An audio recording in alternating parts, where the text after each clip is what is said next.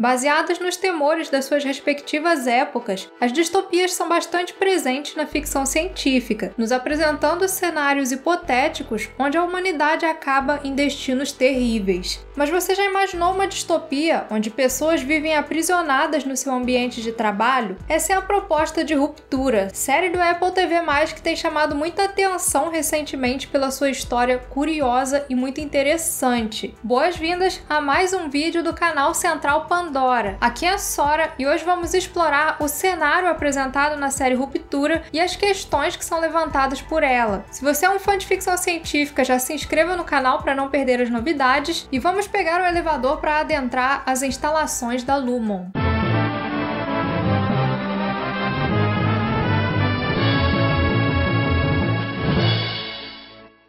Criada por Dan Erickson e com produção executiva do Ben Stiller, que também dirigiu seis dos nove episódios da primeira temporada, Ruptura nos apresenta a Lumon, uma grande corporação que encontrou um método bastante incomum de guardar os seus segredos. Os seus funcionários passam por um procedimento cirúrgico chamado ruptura, que divide as memórias da vida pessoal das do trabalho. Quando entram no elevador para chegar no escritório, as pessoas esquecem completamente as suas vidas pessoais, se lembrando apenas dos dias de trabalho anteriores. Já quando saem da empresa, eles não fazem ideia do que aconteceu lá dentro. E o que pode parecer um método super revolucionário para ter funcionários sempre felizes e mega produtivos no ambiente de trabalho, obviamente tem o seu lado sinistro. Quem é você? É com essa pergunta cheia de significado dentro desse contexto que se inicia a série. Quem tem o chip implantado passa a viver como duas pessoas: o externo, que é o indivíduo original, e o interno, aquele que vai viver o resto dos seus dias dentro do escritório. Porém, o interno não tem nenhuma informação prévia sobre a sua vida, e com isso nós temos indivíduos que não fazem ideia de por que estão estão ali. E mesmo sabendo que existe um mundo lá fora, eles não se importam com isso, encontrando satisfação nos propósitos da Lumon e nas recompensas que a empresa tem a lhes oferecer. Só que então vislumbres do exterior começam a adentrar o ambiente e as coisas começam a mudar.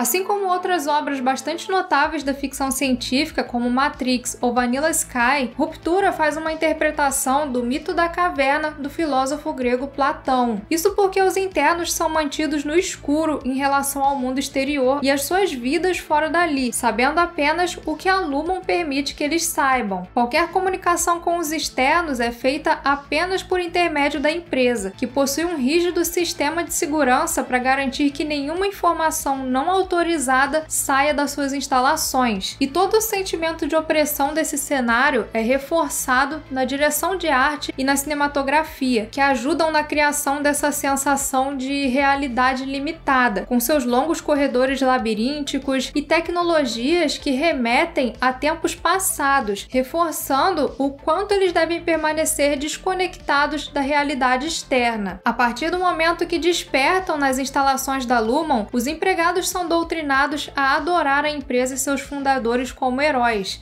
direcionando a eles e aos seus propósitos qualquer tipo de subserviência. E isso é trabalhado em todos os aspectos daquelas pessoas, incluindo no desejo sexual, com a recompensa máxima sendo uma orgia muito bizarra na réplica da cama do fundador da Lumon. Qualquer indício de revolução dentro daquele ambiente controlado resulta em punições bastante severas, como uma visita ao quarto do descanso, um local onde o interno é obrigado a repetir uma mensagem de perdão até que seus superiores se sintam convencidos de que aquilo não irá se repetir. Chamada de break room em inglês, esse ambiente tem um nome que pode ser interpretado de duas maneiras. Uma delas é realmente como um ambiente de descanso, take a break. Mas a palavra break também pode ter o significado de quebrar, ou seja, pode significar também um local que quebra qualquer vontade de se rebelar contra aquela condição, de arrebentar as correntes que mantêm eles dentro daquela caverna. A partir daqui, como nós vamos começar a explorar os temas que são abordados na série, consequentemente nós teremos spoilers. Então fica aí o aviso. Se você ainda não assistiu a série, vá lá, assista e depois você volta aqui no vídeo. It's an unnatural state for a person to have no history. History makes us someone, gives us a context, a shape. But waking up on that table, I was shapeless.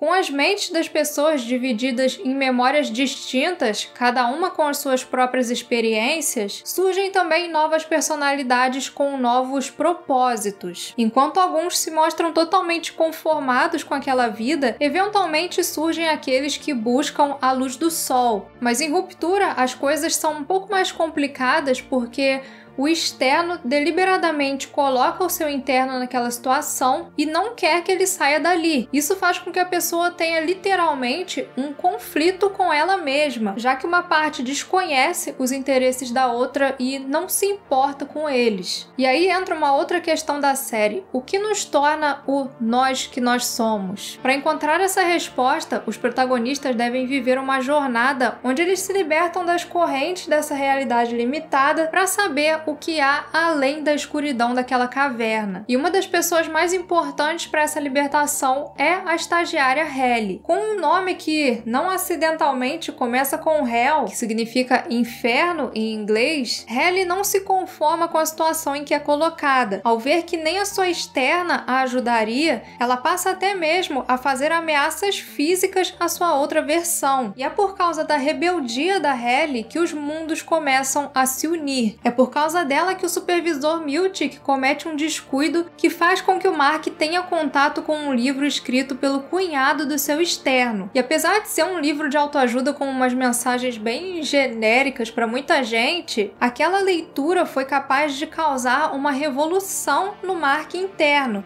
que nunca teve contato com outras formas de pensamento que não fossem a doutrina da empresa. Já Dylan, depois de ter visto o exterior da caverna por alguns segundos, onde ele conheceu seu filho, deixa de enxergar um propósito naquela vida corporativa. Agora, ao invés de algemas de dedo e outras quinquilharias, ele passou a ter como sua principal aspiração estar com a sua família, privilégio do qual o Dylan externo tinha privado ele. E até o Irving, que era um grande admirador do Zigan e da Lumon, tem seus pensamentos transformados pelo amor, quando descobre que o Burt iria se aposentar. Pro Irving interno, era como se o Burt fosse morrer, mas ele sabia que do lado de fora o seu companheiro ainda existiria e estaria vivendo sem ao menos ter ideia do que eles tinham vivido nessa breve aproximação. Com a equipe de refinamento de macrodados, aprendemos que uma das partes essenciais da humanidade é o propósito e que o propósito é capaz de causar revoluções. O ser humano, não importa em qual distopia seja colocado, sempre encontra uma forma de continuar lutando, seja no meio de um apocalipse zumbi, um planeta devastado por uma guerra ou uma vida limitada a um cubículo de escritório.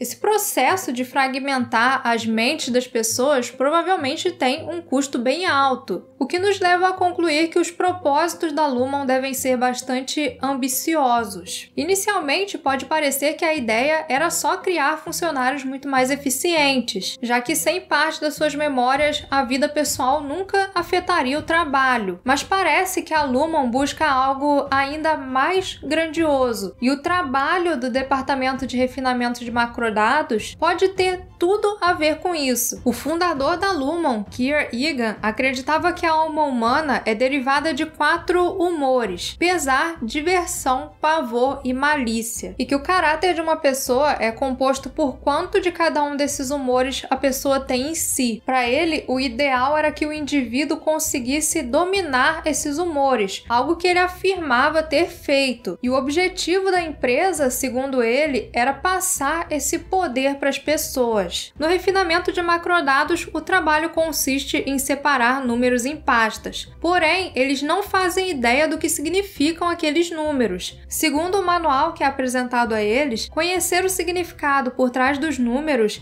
iria inibir a sua intuição natural. Portanto, a separação é toda feita com base em respostas emocionais que os números geram nos refinadores. E ao colocar os números nas pastas, olha o que aparece: os humores listados pelo Keegan, que são em inglês Woe, Frolic, Dread e Malice. E analisando as personalidades de cada um dos protagonistas, nós vemos que cada um deles é mais inclinado para um desses humores. Então, será aquele refinamento algum tipo de treinamento emocional que tem o intuito de criar pessoas perfeitas, segundo a filosofia do Egan? Isso explicaria por que era tão importante que eles tivessem as suas memórias zeradas ali dentro, porque dessa forma eles não seriam afetados pelos sentimentos causados pelas suas experiências passadas passadas, seriam treinados realmente como máquinas. E eu disse pessoas perfeitas e não funcionários perfeitos, porque fica bem evidente a intenção da empresa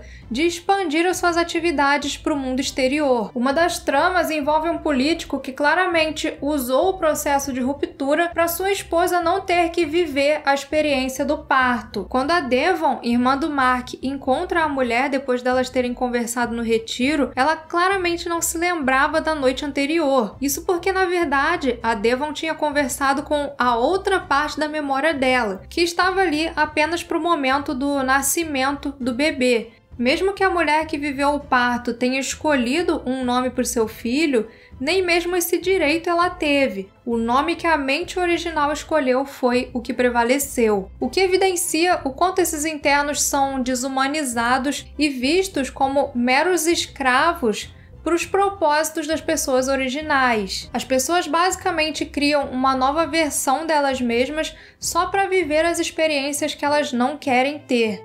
E no mundo externo fica bem claro o quanto existe uma campanha para expandir a ruptura para outras empresas, mesmo o procedimento sendo bastante polêmico e está gerando vários protestos. Curiosamente, uma pessoa que tem lutado por essa expansão é Helena Iga, filha do atual presidente da empresa, que se submeteu ao procedimento para mostrar o quanto ele era livre de transtornos. A dualidade Helena-Helly é um belo exemplo de como uma mesma consciência, com experiências e situações diferentes, pode desenvolver interesses totalmente opostos.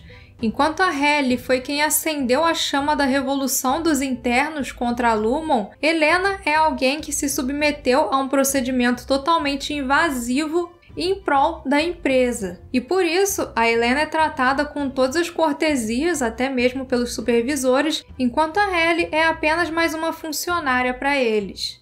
I am a person. You are not. I make the decisions. You do not.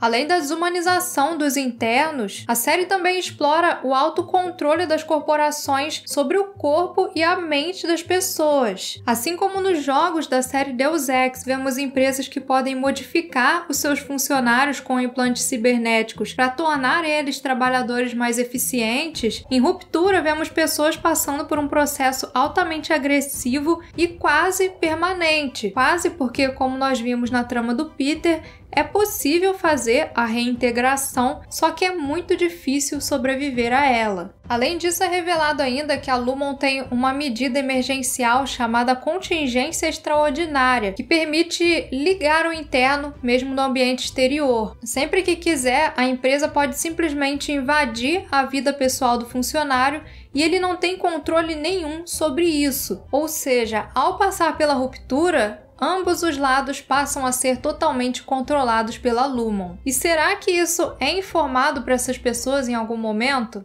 Após um final bastante poderoso, onde os internos conseguem invadir o mundo exterior a custo de umas boas dores musculares para o Dylan, a segunda temporada ficou com muitas questões para serem resolvidas. Afinal, parece que nós conhecemos apenas a superfície do que é a Lumon e de quais são os seus planos. Um dos principais mistérios é a personagem Cassie, a psicóloga da empresa, que ao longo da série nós descobrimos ser Meg, a esposa falecida do do Mark externo. Diferente dos outros, a Meg parece não sair de dentro da Lumon em momento algum. Estaria ela então vivendo o tempo todo dentro de um ambiente controlado, talvez nas casas que o Peter tinha encontrado quando fez aquele primeiro mapa? E como ela existia lá dentro depois de ter morrido? Será que ela foi sequestrada pela empresa e mantida lá com uma identidade falsa? Ou seria a Cassie apenas a consciência da Meg viva em um corpo artificial? Artificial e sem as suas memórias. Uma coisa meio Ghost in the Shell, só que sem as lembranças. Quando é demitida, a personagem é enviada para a sala de testes, um ambiente que ainda não sabemos qual é o propósito, mas que não parece ser algo bom, visto a reação dela ao ser mandada para lá. Outro personagem que aparentemente esteve nessa sala foi o Irving, já que de alguma forma o seu externo tem lembranças desse corredor, externo que aparentemente faz parte de uma rede de pessoas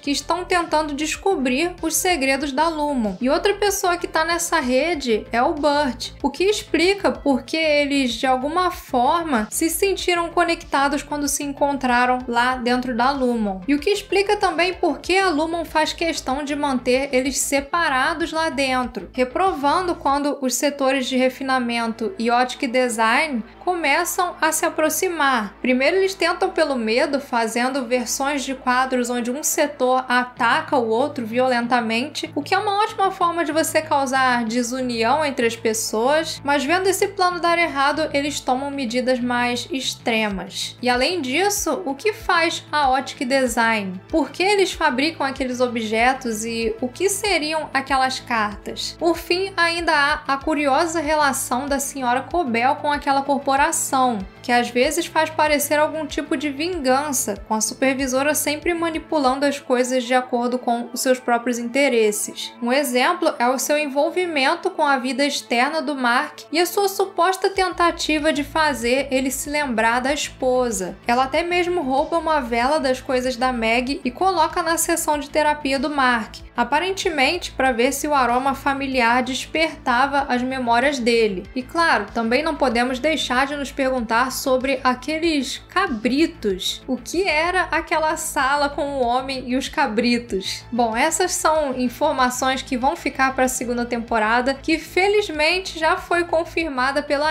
Apple. Se você já assistiu Ruptura, comente aí quais são as suas teorias, o que você acha que está acontecendo aí nesse ambiente tão insano e continuem com a gente para mais universos da ficção científica. Muito obrigada a todos que assistiram, um grande abraço e até a próxima!